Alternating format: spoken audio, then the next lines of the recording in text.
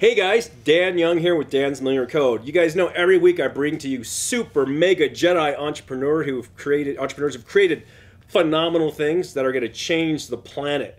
And uh, today's guests are incredible because these guys are part of the future of your new experience on social media, on websites, all kinds of experiences. And as you guys know, everything is going more digital, and uh, these guys are going to be part of your life. In fact, I believe pretty much everyone here going to experience a piece of these guys' technology here in some form, whether you're shopping or experiencing on the internet. So this is awesome. Um, so the name of their company is uh, Seek, and I've got two guys here, Jon Cheney and Mike Snow. Um, both of them are uh, co-founders of Seek. It's an augmented reality uh, platform. And Jon, just to give you a quick summary, he's just a maniac entrepreneur and family dude. Uh, has done some incredible stuff, and uh, and then Mike here, current COO and co-founder, operational expert, international entrepreneur, and again, um, has driven millions of dollars in sales in over uh, 20 countries. So phenomenal. And one thing we all have in common is taking risk and starting insane companies, sometimes working for free for many years. Um, but uh, but that's what we do as entrepreneurs. So guys, uh, neither one of you can start. Tell us what Seek is. Uh, well, before we go into Seek, tell us where you guys came from. Because like, what's your DNA? Where are you guys from? from yeah, so I grew up in Seattle, Washington. Um, moved out here after uh, after two year mission in Cambodia. Whoa. Church, yeah. Got to see you know third world poverty and and really joy. It was it was awesome. People are humble and amazing. Um, came back. Did, did you, have, did you have a good dunk rate? no. No. He's a uh, coder, right? Yeah. so I came I came back and didn't know anything about entrepreneurship. I was pre med at BYU. Mm. Then I uh, I had served Vietnamese speaking in Cambodia, which is kind of backwards. There's kind of the minority of people there, but um, so learned Vietnamese fluently. And then Nu Skin was opening up um, Vietnam as their 53rd country, and so there was an opportunity to go and help, you know, distribute their products over in Vietnam as one of the first distributors. Wow! So I did that for two years before they opened, which is kind of crazy. So we are there. Lots of good smuggling stories. Yeah, we are there. Really? We were there with you know hundreds of pounds of product crossing over the Vietnam Cambodia border, with just and by the time it launched, we'd pushed close to a million dollars of product into the country. Wow. And got the brand established, and then we were able to really. So you weren't scared though, because you had all that mission experience, right? Yeah, yeah. It's like yeah, no we were natural. Like this is, this is normal. Yeah. he could talk yeah. his way around yeah. it. Um, and so I, I fell in love with entrepreneurship operations, hiring, recruiting, strategy, just the whole thing. Um, started another business in college in the freeze dry industry, preserving food in grocery stores and farms, um, kind of beta testing that idea. And then me and Jon worked um, another deal with English 3 in the tech, uh, language learning and tech. Wow. Um, and then Jon kind of got the wiggles, you know, it's like, I need to be in control. I need to create something and own it myself. Um, and so um, he called me up. He's like, "Hey, you want to start a treasure hunting business?" And uh, we started a company called Treasure Canyon. This is 2016. No this is five years ago. Treasure um, hunting. Treasure. So treasure we hunting. literally withdrew 50 bucks each in Susan B. Anthony coins, put in a glass jar, drove some Facebook ads, got some followers, created clues to go find the treasure up in Provo Canyon. Uh, dad and his two kids found it, and, and we got more followers. And then the next month we did another. You guys are hunt. maniacs, right? Yeah. So we did a free treasure hunt every month in 2016, that leading up fun. to a 10k um, prize in September of 2016.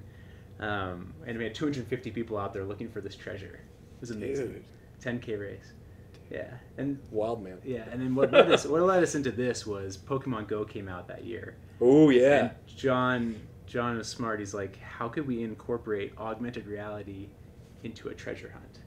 So we brought on technical co-founders, created you know AR apps that you could go in and find treasure and you know tap, tap a treasure chest and win a gift card or TV. Seek and ye shall find. Yeah. That's where the name oh. came from. Oh. Seek. Yeah. Beautiful. It was that, that, that's our journey in a really short summary. So uh, I'd like to hear kind of like your journey. Interesting. You tell me a little about your family, their like real estate backgrounds mm-hmm. and development and things. So how, how did you become an entrepreneur from from your small you know, when you were a little kid? You know, I'm from Houston, Texas. Um, when I uh, when I was about, I mean, from as young as I can remember, my dad always said, "Never work for somebody else. You'll never get ahead in life. working for somebody else.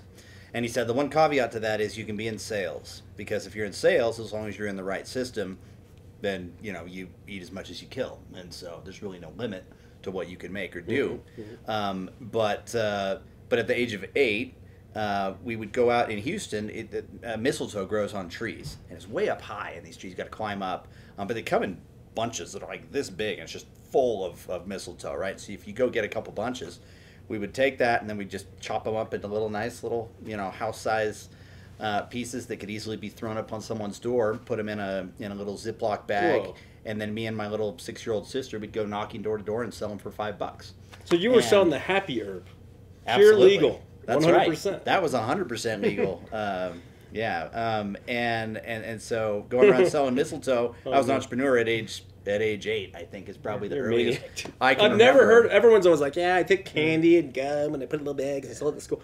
Mistletoe. Oh, I did all that stuff too, but mistletoe for sure. But no, I was I would I would I would fold up little paper claws and make sets of five for your hands, and I'd sell sets of them at school, and I'd buy candy bars at the grocery store, sell them for more whatever. So I did all the arbitrage stuff when I was, you know, in in middle school and whatever. So that was fun.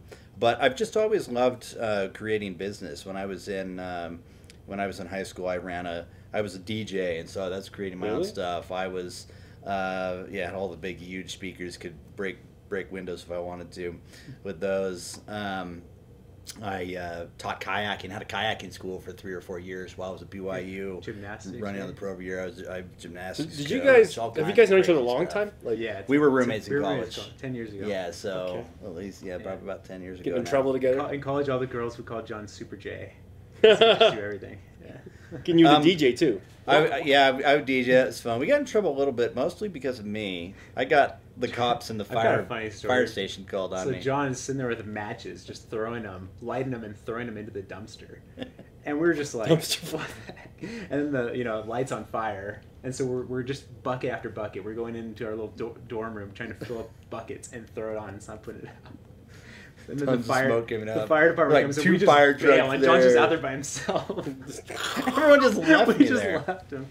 You guys are this is good. Anyway, we'd always we'd always yeah. find good ways to get in trouble and run around and. So seek seek seek. How did you guys make? The, you guys thought about this together? You guys were just chilling out. And... So I initially, um, I was working for again this company called English Three at the mm-hmm. time. Um, I was vice president there, and and you know I was just a little bored. It was just kind of a slow moving business, and you you and, lit their freaking uh, dumpster on fire at. Uh... Yeah, exactly. and, and so I just said, you know what, I'm going to do something a little crazier. And so I quit that and I went to work at a piano store, a piano selling store, because I, I, I, I've played the piano since I was a little baby, since I was three years old. And I compose and write. And so I'm, I'm really good at that. And I'm also really good at sales. So I was like, if anyone could sell a piano, it's me.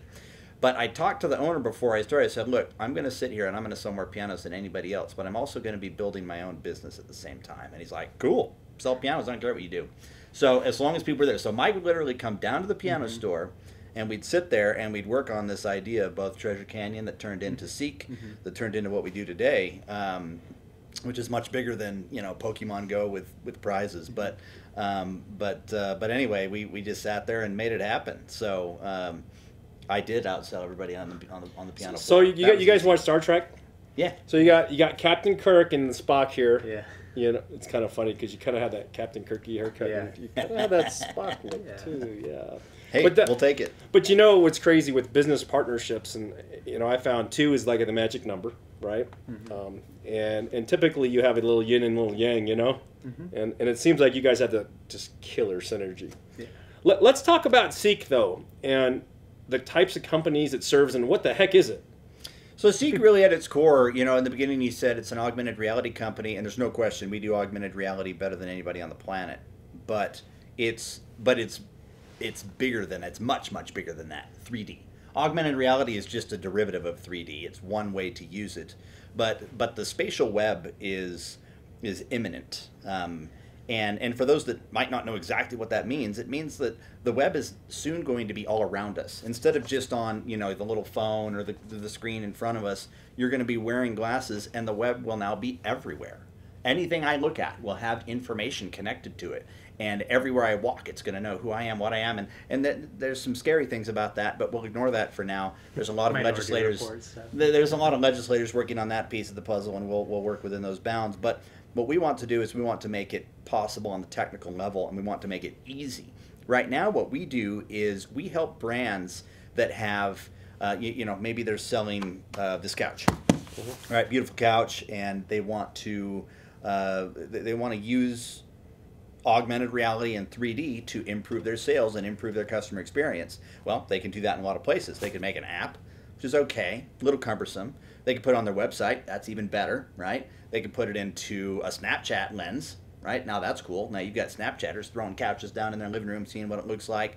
You can do the same thing on Instagram, on Facebook, on TikTok, and the and the platforms go on and on. There's software, there's iOS, there's Android, there's iPads, there's desktop viewers, there's 3D mm-hmm. viewers, there's holographic viewers. Mm-hmm. There's so many ways that that 3D asset, that this couch, can be turned so that you create a beautiful, nice 3D asset, and then you have to figure out how to make it compatible cross-platform. The easiest mm-hmm. way, really, to talk about this is we're the YouTube of 3D, right? Um, YouTube, you, you, you upload a video in whatever format you want. YouTube says, great, we're going to convert it and process it and put it in a, bunch of different codecs. Then we're going to store it on our servers. And then if a PlayStation 5 or a PlayStation 4 or a Roku or an Apple TV or whatever streaming device, you know, calls that file, YouTube says, we got it. We've already optimized it for that platform. You just sit back and press play.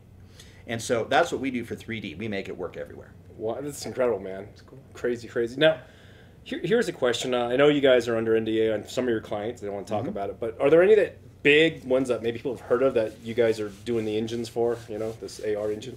Yeah. So we're in a we're deep into a AR shopping beta with Snapchat, and so just in the last three months, we've helped onboard Ralph Lauren, Foot Locker, New Balance, um, Reebok. Whoa. Yeah, big, big brands. The whales. Yeah, so we're making LeBron's Nike shoe and no Kawhi Leonard shoe, Steph Curry's shoes in, in 3D, and then they're creating a lens that goes into Snapchat that you can try on LeBron's shoe. Oh man, so we'll probably, without getting you guys in trouble, see you on other platforms across that because once Snapchat's kind of cool because that is what their signature thing is the cool lenses, yeah. and then everyone else will be like, we got to get it right? And so, I mean, you guys are gonna be swamped with customers. Yeah, yeah I mean, and and I, you know, Snap's a, a, newer partnership that's I think got a bright future ahead of us. But we also work with a lot of brands directly, like Nestle is one of our mm-hmm. customers. Wolverine Worldwide, which is like the owner of Sperry and Jocko Saucony. and other things, yeah. Saucony, other other big brands and and Vans, and I mean we've worked with tons of mm-hmm. really really big companies, Walmart, uh, mm-hmm. uh, Sam's Club. Um, Lego's and, a really big. Lego's a huge client huge of ours. But what we do cool. for a lot of yeah. these yeah, Lego's fun, right? You yeah. see all the pieces come to life and stuff. But and if you want to try any of this, go to our website. You can see mm-hmm. demos of all of it. But mm-hmm. um, but what we do for most of these brands is we enable it. We enable this AR directly on their website. That's what companies want the most. Yes, they want to be able to run a Snapchat lens. That's important. It's one channel. It's an it's a big one. It's actually the biggest current AR social channel out there. But the place that matters the most that gets the most traffic is the dot .com right?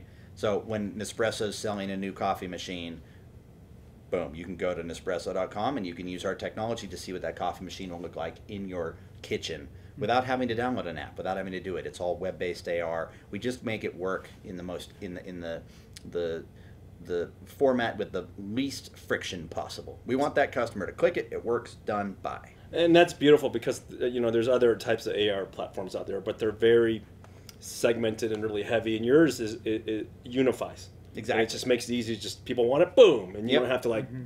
download all kinds of weird crap. Fragmentation and veiled walls are are big problems in this industry. Facebook does it different, Apple does it different, Google does it different, Snap does it different. Everyone tries to do it their own way because they just say, "Oh, we're going to make it for our own platform," and that's what happens when you have a nascent technology. Everyone's trying to figure out how to do it, and then you've got fragmentation and ten ways to do it. So now you're someone like Lego who says, "Okay, we have one Lego set, but we have to make 14 different formats of this for it to, to distribute it in all the platforms this is this is impossible so it's right? quick to implement yours yeah for us we can do it in, in i mean i think you told me a story where you you like just like just scanned a plethora of SKUs, and I was like, yeah. yeah, we could take. I mean, if uh, a lot of companies have some sort of 3D file uh, like a CAD file maybe that's used for design and things like that, right? I'm sure you've got them here at PC Laptops and things mm-hmm. like that, right? So you've, you've got a computer, you've got all your designs. We can take that and we can just run it through our system, and seconds later, it's ready for distribution on 10 platforms. That's amazing, guys. I'm going to shift gears a little bit. So, yeah. in your journey through your treasure hunting company and, and to hear um, what's been the biggest, like, butt kicking you guys have each have personally taken, most painful? And how did you get through that, though? Because there's a lot of pain out there. People are going through crazy stuff. A lot of business owners are suffering and trying to figure it out. Let's, let's ask you, ask you guys. Go ahead, Mike. I gotta pick. I gotta pick which one for me. yeah. Well, you can you can share you can expand off of this one, but I would say probably 2018. It was the shift between going from app to appless was really really oh. really big because we no longer needed developers, and it was a whole pivot. So, you know, our investors who invested in the original one might not be interested in this new new model. It's a totally new business completely model. Completely new business model. So we we had to we lost what was eighty percent of our of our employees during that Jeez. during that transition. Just loss of funding, and we had like everything hinged on this new model working. And I remember Jon found out about shop.org and told these investors, like, look, we have this one conference. We're going to go to it. We're going to sell this. It was five grand, which we thought was a lot because we didn't have any money. Um, and it's like our last five grand. And me and Jon went, and uh, we landed Vans and Holy and um, Kravet, big furniture company, um, Ballard and a bunch Designs. of others. Ballard Designs, another big one owned by QVC, and, and, it was the very first pitch that we had. We had one model. We had a Nike shoe in AR, and we sold all these brands. To get to the numbers yeah. in reality, in April of 2018, we had we had about $250,000 in the bank and about a $250,000 a month payroll. Holy mackerel! So you're right. like, so we had one, one month left, and you could have just been blur. And and then we had some investors that showed up last minute, said, "Hey, we're going to fund this. We got we got you." And of course, all three of them fell through. Uh. So now we're in May, and we have fourteen thousand in the bank account. Right, we had got a couple receivables, a little bit of money here and there. We had nothing. It was done. And so we sat down with the company and said, guys, look, we tried, and we did this with a whole company meeting. Right, we had twenty five people in there, mm. and everyone was just like, we get it. Right, we love you guys. But, you know, it's too bad it didn't work out. We'll go get jobs. We'll figure it out. Um, four people uh, were able. We, we were we were able. I was able to talk to the investors into giving us $15,000 each. Four investors, $15,000 each, right? We had about 10. Four of them agreed to give us 15 grand. They said, here's a $60,000 leash. If you can turn it around with that, good for you. If not, then we're out. But they gave us that, but that allowed us to keep four full-time employees, so basically a payroll of 15000 a month. And then four other employees, Mike being one of them, uh, decided to work for free.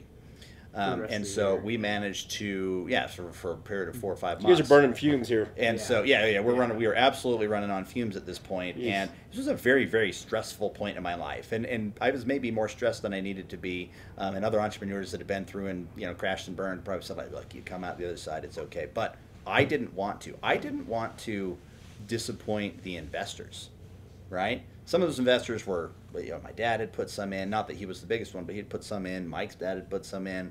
Uh, but we had a bunch of other really big, respected people in the, in you know, that had put their trust in me, right, in us, in our company, and I didn't want to let that go down. And so we figured out a plan. Our CTO, Thane Brimhall, absolutely a genius, helped us work through this, and we came up with this idea of this web-based AR piece. And um, hmm.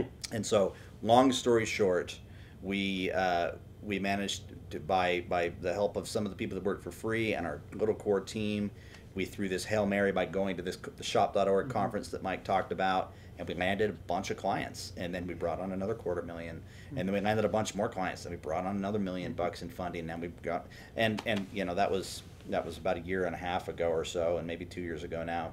Um, and we're we're back to full fighting strength. Um, that's and, awesome. and not even that we're we're we're you know heading heading for the stratosphere at this point. So um, we it was a very risky um, and very very stress filled time. I couldn't sleep. I couldn't nothing. Like I was just I was done. Are you the kind of warrior in the but relationship here? Neither of us are too big of warriors, really.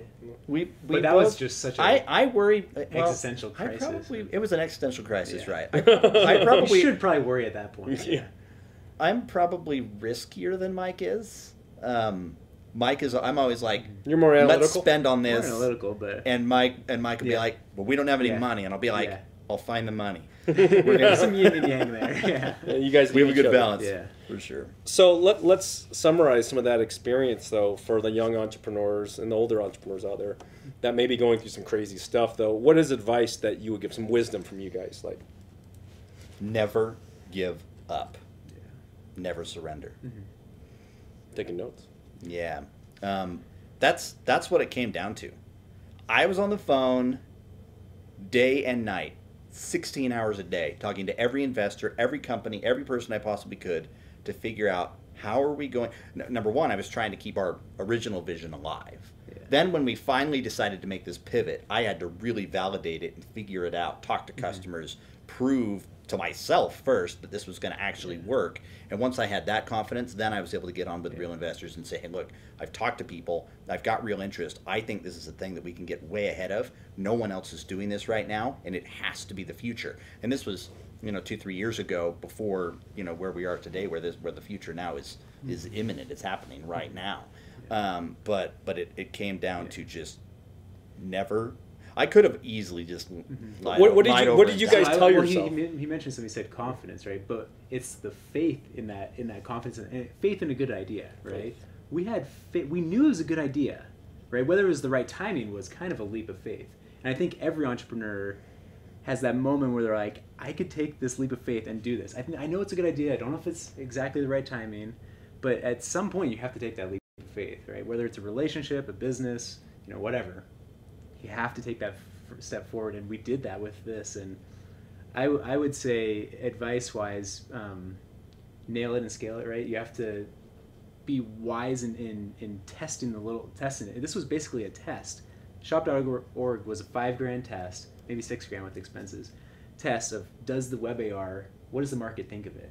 So I would say use the minimum amount of resources to test your idea, but you have to take the leap of faith. And then once it's validated by the market, then you have to take a leap of faith to, to scale it, which is a whole nother issue. We've been scaling for two years. Where do you idea. guys see this, your company, in just a year or two or three or four or five? How big is this? How big is the market on this for you guys? It's pretty massive. The spatial web um, is something that not a lot of people, uh, just your average Joe on the street, even thinks about or knows about today. Mm-hmm. But when Apple comes out with their glasses, that will change the world forever. Facebook has already announced the glasses. They come out in March or April of next year. Wow. Um, so that's just a few months away. Um, Snap will likely be coming out with new glasses. Google will try Google mm-hmm. Glass again, except they'll probably try to do it better. They got to do it um, right because you don't want to be a glass hole. Remember that term came yeah, out because yeah, yeah. there's a he's like filming you. You're like, oh, it's got to be it's got to be done right. There's a lot of things that have to happen, but the spatial web is is is, is trillions of dollars. I mean, it's as big as the web is today. Ten years from now, the spatial web will be the web, right? You won't. You, I mean, you, you may still have some flat devices, but most of it is going to have depth to it, which means it has to be 3D. Every letter will have to be 3Dized somehow. So you, you right? guys, it's funny that you guys are like very uh, Wozniak and Jobs ish. Uh, so when you guys, you know, take this trillion dollar plus market cap. Um, so what do you guys what are you guys going to do with all the extra resources that you guys have? What are some things that you guys want to change in the world? Go ahead, Mike. I've got a few ideas. So yeah, I mean, Mike's, I'd love to continue on. I mean, one of my dreams after serving or living in Cambodia and seeing that, and just seeing how little they had and how much we have, and just like how much we throw out, right? Just every restaurant and grocery store and farm loses, you know, a good chunk of their food every year. I would love to figure out a model and take it to the world, take it around the world where you can preserve that excess food, um, and and and preserve it, and make the make the whole food supply chain more efficient. That's smart. Um, there's yeah. plenty, huh? There's so much. Forty percent of farm food doesn't leave the farm. That's that's phenomenal. That's crazy to me. And I was like, yeah, if you just and we make enough. There's like you know almost a billion people go hungry across the world, and we make more more food every year than the world needs. Yeah. So I was like, that doesn't make sense. Uh-huh. So I, I, mean, you know, you could cure world hunger. yeah, I mean, or just or, alleviate or alleviate it. Yeah, a lot though. Yeah, there's so much waste. Yeah. How about you, man? What do you got? I got all kinds of things. What's a big one? I could, the I could, one. I could go, I could go for a while. Um, but one big thing that's local here in Utah that I really want to do, Utah Lake, is a an extremely wasted, valuable resource.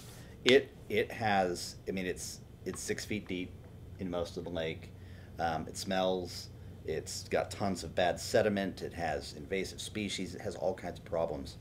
And um, there's a there's a group of people that, that have an interest in this, but it's about a it's about a thirty billion dollar project. But the the bottom line is, if you can, what they want to do is completely dredge the lake. They'll make it eighty feet deep in some places, and and uh, about fifty percent of the water in that lake is lost to evaporation every year. Right. Whoa. So we lose half of that water. If we just make it deeper, we're going to preserve a lot more it's going to cause less problem with wind um, because when you have really shallow um, water and big waves, then it you know pulls up all the sediment and it makes it just murky and makes it smell bad. Um, but it, but the the plan is really to take all of that extra earth. They're going to dig it out and make it deeper everywhere, put it in the middle of the lake and actually build an island there with a causeway then going out on each side that connects you know the Provo Orem area Whoa, over to, to the Saratoga Springs and then in the middle there will be an island that will actually be a completely sustainable um, community and you'll have office buildings and people that live there and all kinds of stuff and you'll have several other islands around there and then I want to bring a big. I'm a big whitewater kayaker and adventure. I love I love doing things outdoors. But I'm gonna bring. I want to build the world's largest uh, kind of man-made. Uh, adventure center that's going to have uh, whitewater kayaking and mountain biking and all kinds of cool stuff. And there's a couple. The U.S. National Whitewater Center in North Carolina is a good model for this, but I want to do it about three times that big. Um, so I want, that's that's something that would be really really exciting to me because I think it would affect millions of people not only here in Utah but people would come from all over the world to do that and we'd be able to turn Utah Lake into a nice pristine like Lake Powell again. of uh, right here exactly right? and it'd be I mean think about what it would do just to the real estate value mm-hmm. around. Will you uh, text me Utah and uh, we'll come on the show when you're doing that and we can make some of that available to your development people to be totally. able to invest in. You bet. someone, can, someone can expand Provo Airport to handle the traffic. That's oh, right. Man. No, I think there's I think there's a huge, a, a, a many many hundreds of billions really nice opportunity here. there. And, Heck yeah, man! Make that a really nice fishing lake. I mean, right now it's just it's not good for skiing. I'm getting a houseboat on your lake. That a houseboat could be a thing Dude, for sure. Sounds like you can oh, have a house but, out there. you oh, can have a house, a house, too. on the lake. Dude, yeah. But anyway, I think that's, that's cool. an exciting thing that I'd like to get behind, but it requires it needs some big funding behind. Well, you'll have that. Well, you only need thirty billion, right, to get started. So well, with, you know, you get a one trillion plus cap on this. So. Yeah, I don't know if Seek is quite worth a trillion dollars, but it uh, the the market itself is is big, um, and it's it, it's going to be. Uh, a pervasive part of everybody. I think you'll be able to. You guys will be able to do this project out of your petty cash. Yeah, man. Let's do it. Let's do it. So, uh, where can people find you, like, and see this Seek, and, and, and where can people find you guys so they can stalk you and see all the cool new releases of your cool new? Yeah, I mean, check us. Um, you know, uh, seekxr.com, s e e k x r.com. It's very easy to do that, and then Mike Snow and Jon Cheney on LinkedIn. Just find us on LinkedIn. Find me on uh, iTunes. Listen to my piano music. Look up Jon Cheney there as well. MySpace, you know. MySpace. I, I think my MySpace is still on there. I've got a few few million listens. I'm going to summarize quickly too. Your your your very concise, simple pieces of wisdom is never give up, never surrender, and have faith, and make sure you nail it, and then scale it. Mm-hmm. Right? That's it. It's so simple, right? So guys, write that down. You don't even have to read the book. Just read the title. That's all you need to do. Just read the title. Just read the title of the book. so thank you guys for sharing all that wisdom. I really appreciate you guys. And you mind if I share one more thing? Yeah, yeah, yeah. Go. This was something that uh, last time you and I were sitting down and talking about. You said you should share that on the show next time, oh, yeah. and I just want to share it. One thing that that we haven't brought up enough is the team is responsible for for this success. No, right? Yes. Um, it was not it was not me and Mike that did this. Mm-hmm. Um, we happen to be in in our, our roles are just organizing and lots of hustling and lots of stress and phone calls and lots of begging on our knees for people, both to investors and probably to mm-hmm. the big man upstairs um, to help. But but when I sit down with my employees, when I when I first hire them um, in regular interviews, I want them to make sure that they know we care about them as people first, and not necessarily as employees to help us reach this trillion dollar vision, right? Um, what we what we really want is um, is for them to understand where their priorities should be, right? Um, and I always tell them that that seek should be maybe their fourth or fifth priority in their life. And, and here's why. Number one should be themselves, because if they can't take care of themselves, they can't take care of their family. Um, they can't help seek for sure. I mean, they're, they're, they're not going to be of much use, right? So make sure mentally, physically, they're good to go. Two, definitely their family. Their their their actual family is going to be more important than their Seek family. We are family at Seek, but but that's going to matter more. Then three is going to be religion, beliefs, core values systems that that drive you and keep you going. And then four, maybe even before Seek, is going to be hobbies, things that you love, things that make you tick. For Mike, it's skiing. For me, it's kayaking or piano or whatever, right? They're things that I like. And then comes the company. Then comes the job. And here's why, right? A lot of a lot of companies I've, I've heard plenty of stories. Luckily, I don't. I've never really worked for a company that um, that really you know hounded this into you. But a lot of people say no, the company comes first before everything, right? If we need you here at 11 p.m. on a Sunday night on Christmas Eve, whatever, you're here. And I understand that sometimes there's emergencies and you need to make sacrifices, and that's great. But the general rule is the reason that that order is like that is because what happens if you don't have yourself? You no, nothing else matters, right? If you don't have your family, can you live without that? No, not a chance. Can you live without your religion? If it really matters to you, no, you cannot. Four, can you live without the things that really make you enjoy life? No. Can you live without your job? There's plenty of jobs, right? You can do that. And so I think that helping our employees understand that we care about them and and that Seek should be driving those other things in their life and improving their life as a whole. We give them Fridays off so that they have time to do these things and maybe start their own business because we like that. We, we encourage entrepreneurship. But the point is, if you do that, then the employees will go to bat for you whenever they need to. They'll work hard. They will be incredibly loyal and even work for free for four months for five months if we run into a crunch or something like that. Um, not that I recommend that course of action, but that I just I want to end with that. I think that I think that making sure that uh, that the employees and the people are taken care of uh, in a way that um, uh, they they really know that they matter mm-hmm. more than the company matters. And if that balance is helped right, everybody will grow together. That's that's pure fire and wisdom. Mm-hmm. And you know, thinking about that for all the companies you know that I've done myself, it's, it's the same thing. It's the people that really create it. Companies are people, mm-hmm. right? Totally. So if you prioritize them, they'll prioritize your whatever we're building, right? Yeah. So guys, don't forget that, man. That's true wisdom. Thank you so much, man, mm-hmm. and, and, I appreciate both you guys yeah. coming on. Thank you. We're I'm really excited to see what the future brings, and now everyone's gonna be looking at different brands, going, "Hey, yeah. that's what powers that." So yeah. this is very exciting. And then so SeekXR, that's that dot com. That's the best place to see what you guys are up to. And are you guys are you guys on like LinkedIn, social media, that kind yeah, of stuff too? LinkedIn, yeah, LinkedIn, Facebook, Instagram, Twitter, Instagram, whatever. Okay, go go follow these guys. Yeah, I appreciate you again. Yeah. Guys, thank you for watching Dan's Millionaire Code podcast. And you know, there's no charge, there's no commercials, there's nothing you have to buy, download, or anything. It's all right here for you. I ask that you do just two things, uh, if possible. Uh, one share this with your friends and loved ones who um, may benefit from this. Um, critical to share it, and if you found value in it, you know, rate it good and stuff like that, and share it out there. Um, but two, this is actually the most important piece about it is execute. If if these guys have given you some of their wisdom and it's, it's stuck and you wrote it down, make sure you're actually doing it. And I think you guys will find with every podcast, there's just usually a few, few basic things that were the key to these guys' success but what's kind of crazy, if you've listened to multiple episodes, if you just take every day a few of those things, so you listen to one podcast a day, one a week, and implement that during your week, soon you'll have that recipe to scale yourself to just unbelievable levels. Anyway, guys, I will see you guys next week on Dan's Millionaire Code Podcast. Have a great one.